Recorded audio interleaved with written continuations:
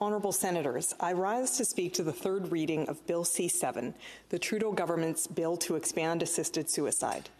Bill C7 marks a profound shift in Canada's assisted suicide regime.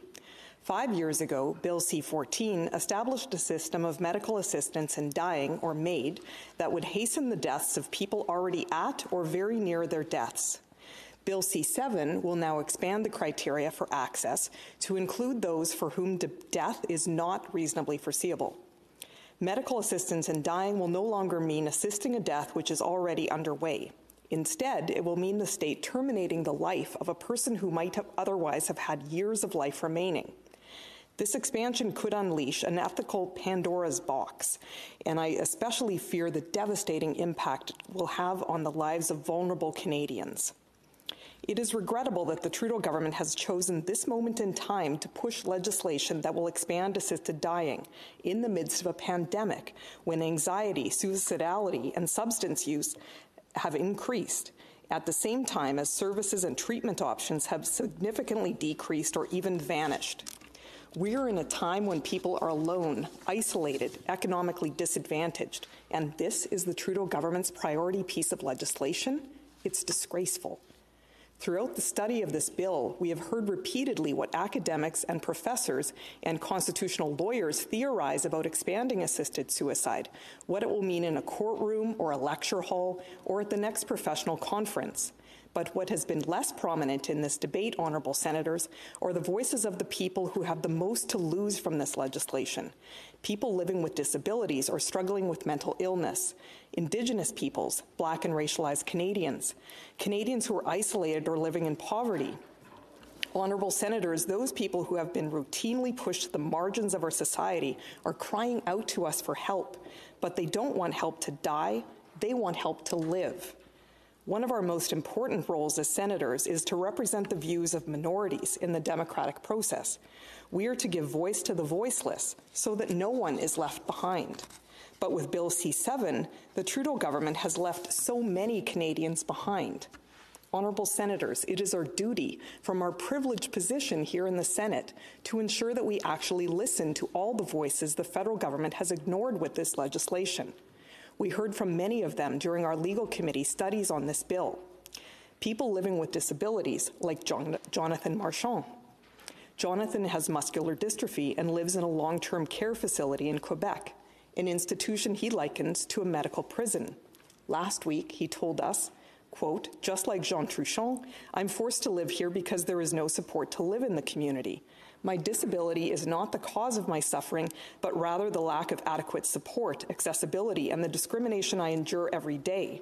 Suicide prevention is offered to people without disabilities, but I deserve assisted suicide?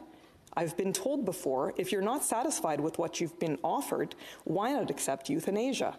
My life is worth living. I want to be free, quote. Studies have shown that recipients of MAID in Canada have a higher income and are substantially less likely to reside in an institution than the general population. Advocates of assisted suicide cite this as evidence that MAID isn't being accessed by vulnerable populations. But Dr. Sonu Gaind told our committee that would likely change if MAID is expanded to include those for whom death is not reasonably foreseeable, and especially for those patients suffering from mental illness. He said, quote, In North America, there, there is an equal gender balance, and those seeking MAID tend to be better off, well educated, and also Caucasian. That is when MAID is for those who are dying. People who have lived well want to die well. Evidence shows it is a different group who seek MAID for mental illness, with twice as many women as men in those situations seeking MAID and patients suffering from unresolved psychosocial stressors, quote.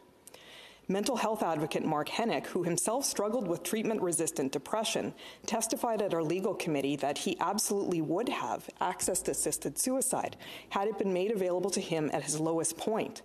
He expressed his concern that MAID was not really an equal choice for suffering from mental, severe mental illness who often feel as if there are no other options. He told us, quote, "The suffering was so grievous that I couldn't see anything outside of it.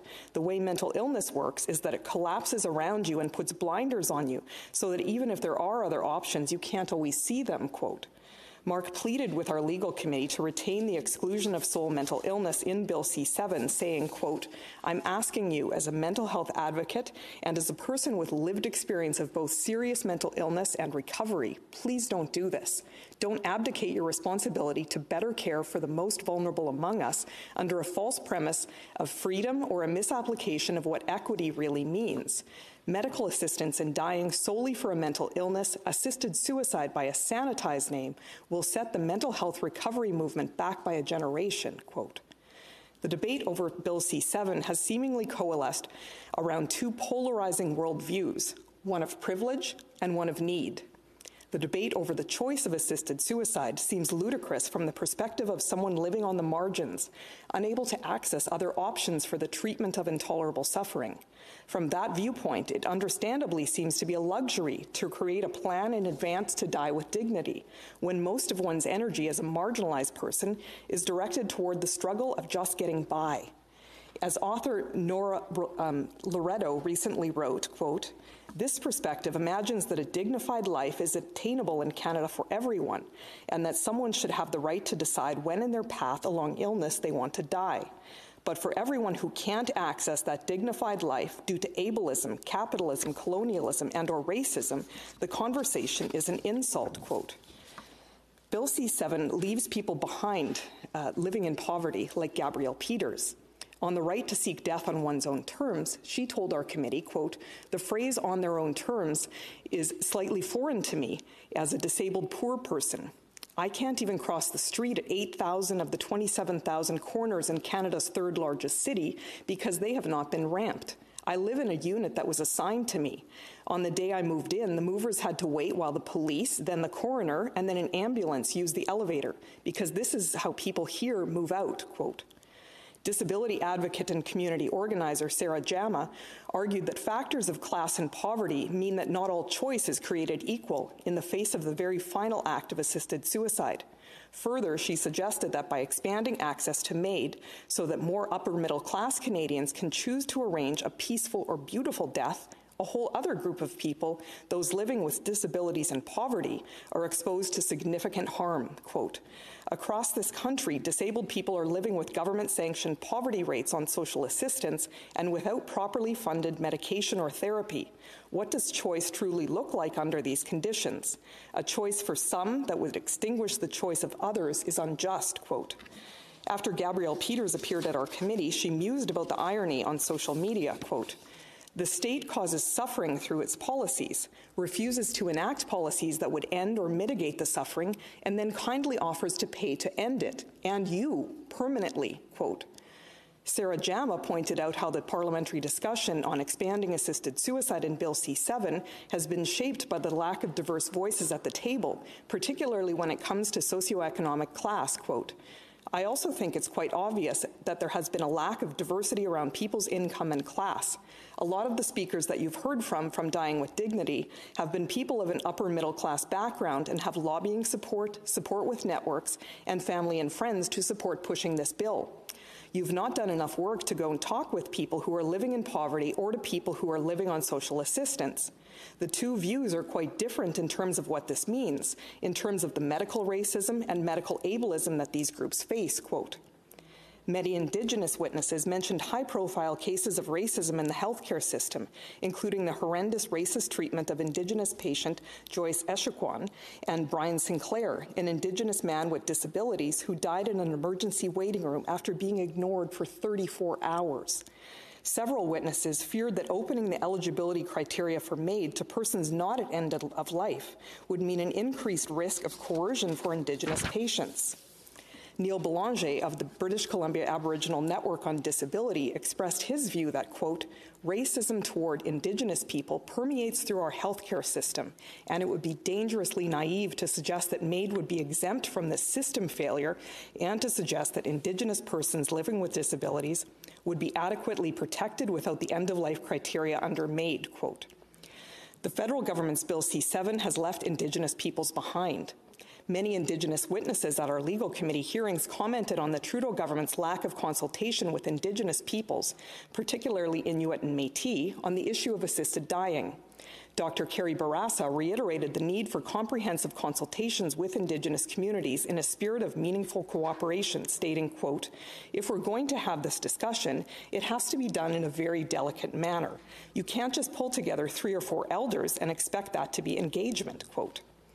Tyler White of Siksika First Nation called the government's consultation with Indigenous communities grossly inadequate and voiced his concern about the message expanded assisted suicide would send to his community's young people. Quote, we are concerned about the impacts of Bill C 7 on our efforts to combat the youth suicide crisis in our communities. The expansion of MAID sends a contradictory message that some individuals should receive suicide assistance while others suicide prevention. Our consistent message to our youth has been that suicide is not the answer to the difficulties and challenges we face as a people. Bill C7 will send a message in direct opposition to ours, quote. Committee witness Sarah Jama pointed out the absence of black and racialized viewpoints during the debate on Bill C 7. She noted the dangerous ramifications of those missing voices, given a history of medical coercion in the past. Quote, I think it's quite obvious that there have only been a handful of black and racialized people to speak both in Parliament and in front of the Senate on this issue. It's ingrained in our history in Canada that disabled people and racialized people have been abused because our bodies are seen as different, and that connects race and our abilities. And to not center that in this conversation while we're passing this bill around euthanasia is dangerous. It's opening a can of worms that I think will be a regrettable part of our history here in Canada, quote. Honorable Senators, we have a duty to hear these voices of the voiceless in this debate. We cannot just listen to white upper class university professors and legal experts who have the luxury of studying and pondering the esoteric points and finer nuances of these issues from the comfort of a leather chair in their ivory tower offices. Because in the real world, Gabrielle Peters is in her tiny apartment, and Jonathan Marchand is in his long term care room, trying to figure out how to access care services with month long waiting lists, services that will never come fast enough, if at all, to alleviate their suffering or isolation or pain. Meanwhile, the next Brian Sinclair will die in the next emergency room, ignored by medical staff who have made assumptions about him because of his race, while the homeless woman with a disability down the hall, who came in seeking treatment for her intolerable suffering, is offered access to assisted suicide instead. Some might find it so much easier to listen to a university professor or legal expert discuss in a very detached and theoretical way the nuances of human rights law than to listen to Sarah Jama in tears pleading with us to listen to the people this law will actually directly impact. Senators, we need to take a step back and put our privileged point of view aside the voices of those who have spoken so strongly against Bill C 7 cannot be so easily discounted as some have tried to do on previous occasions with, oh, they're opposed because of their religion, or oh, they're just fundamentally against the concept of assisted dying anyway. Many of these people who oppose this bill are not religious, and many were not opposed to MAID or Bill C 14, but they view C7 as a bridge too far, as a direct threat to the inherent value of their lives and to their equality rights under the law. Many of these people are traditional progressive allies, persons with disabilities, racialized communities, indigenous peoples, people living in poverty. These are the vulnerable people we as senators have a responsibility to protect here. I hope that you will. Thank you.